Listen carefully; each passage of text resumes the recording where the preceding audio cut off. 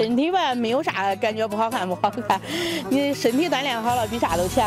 原来好头晕，爬了有呃一个星期，感觉头不晕了，所以就坚持下来。